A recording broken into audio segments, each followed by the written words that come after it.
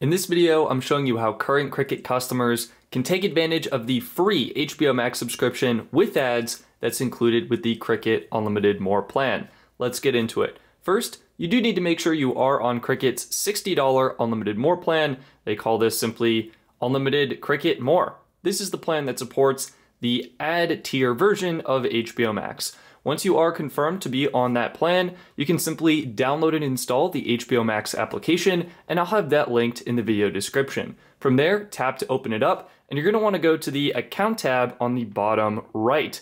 Here, you may think you wanna choose a plan or restore purchase, but instead you simply want to sign into your account. And here you're gonna tap sign in with a provider, and this is the secret. So we're gonna tap allow on that pop-up, and it says signing in.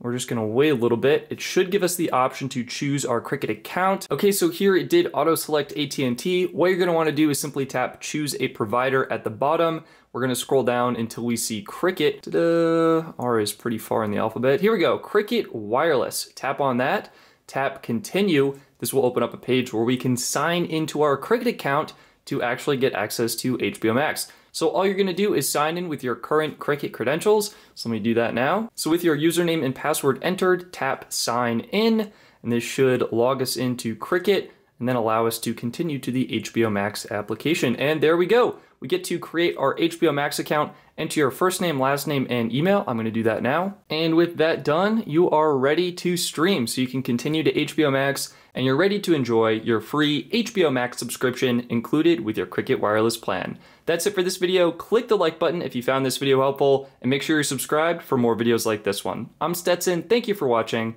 and I'll see you next time.